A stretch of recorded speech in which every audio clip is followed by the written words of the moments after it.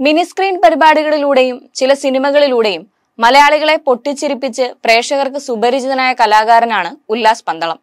ഏഷ്യാനെറ്റിൽ സംപ്രേക്ഷണം ചെയ്തിരുന്ന വഡാഫോൺ കോമഡി സ്റ്റാർസ് എന്ന പരിപാടിയിലൂടെയാണ് ഉല്ലാസ് പന്തളം ശ്രദ്ധേയനാകുന്നത്.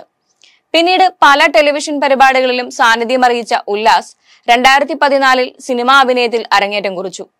സുരാജ് വെഞ്ഞാറമൂടിനെ കേന്ദ്ര കഥാപാത്രമായി പ്രദീപ് ചോക്സി സംവിധാനം ചെയ്ത പേടിത്തൊണ്ടൻ എന്ന ചിത്രത്തിലൂടെയാണ് ഉല്ലാസ് അരങ്ങേറ്റം കുറിക്കുന്നത്.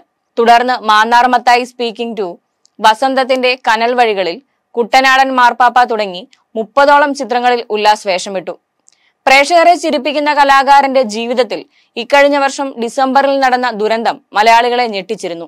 ഉല്ലാസിന്റെ ഭാര്യ ആശയെ കഴിഞ്ഞ ഡിസംബർ ഇരുപതിന് ആത്മഹത്യ ചെയ്ത നിലയിൽ കണ്ടെത്തുകയായിരുന്നു.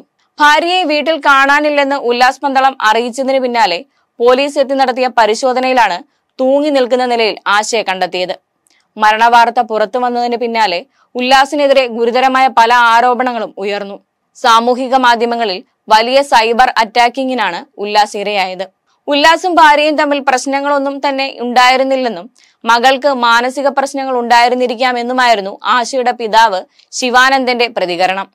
ജീവിതത്തിലെ കൈപ്പേറിയ ദിനങ്ങളെ അതിജീവിച്ച് വീണ്ടും കലാരംഗത്ത് സജീവമാകാൻ ഒരുങ്ങുകയാണ് ഉല്ലാസ് ഇപ്പോൾ.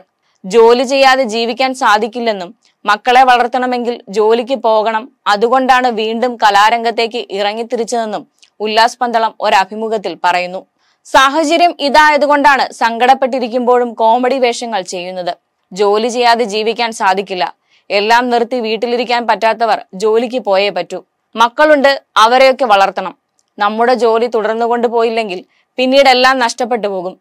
അതുകൊണ്ടാണ് വീണ്ടും ഇറങ്ങി തിരിച്ചത്. ഞാൻ മാത്രമല്ല എല്ലാവരും അങ്ങനെ തന്നെ ആയിരിക്കും. ഉല്ലാസ് മനസ്സ് തുറന്നു. സുഹൃത്തുക്കളുടെ വലിയ പിന്തുണ തനിക്ക് ഉണ്ടായിരുന്നെന്നും ഉല്ലാസ് പറയുന്നു. പരിപാടികൾ ചെയ്യണം വീണ്ടും സജീവമാകണമെന്നും സുഹൃത്തുക്കൾ ഉപദേശിക്കുമായിരുന്നു. ഇടയ്ക്ക് സ്റ്റാർ മാജിക് ഷോയിലേക്ക് വിളിച്ചിരുന്നു. അവരോട് വരാമെന്ന് പറഞ്ഞെങ്കിലും തലേ ദിവസം വിളിച്ചിട്ട് ഞാൻ വരുന്നില്ലെന്ന് പറഞ്ഞു. അപ്പോൾ ഷോയുടെ ഡയറക്ടർ പറഞ്ഞു ഉല്ലാസെ അങ്ങനെ ഇരുന്നാൽ ശരിയാകില്ല. വെറുതെ വന്ന് ഫ്ലോറിൽ ഇരിക്കുകയെങ്കിലും ചെയ്താൽ മതി. അങ്ങനെ എല്ലാവരും സപ്പോർട്ട് ചെയ്തിരുന്നു. ഭാര്യയുടെ മരണശേഷം ഞാൻ ആദ്യമായി പോയ സ്റ്റേജ് മസ്കറ്റിലാണ്. ഒരുപാട് മാനസിക സമ്മർദ്ദത്തിൽ നിന്നാണ് ആ ഷോ ചെയ്തത്. സ്റ്റേജിൽ പെർഫോം ചെയ്യുമ്പോൾ അതൊക്കെ മറന്നിട്ട് ചെയ്യണമെന്നും ഉല്ലാസ് പന്തളം അഭിമുഖത്തിൽ പറയുന്നു.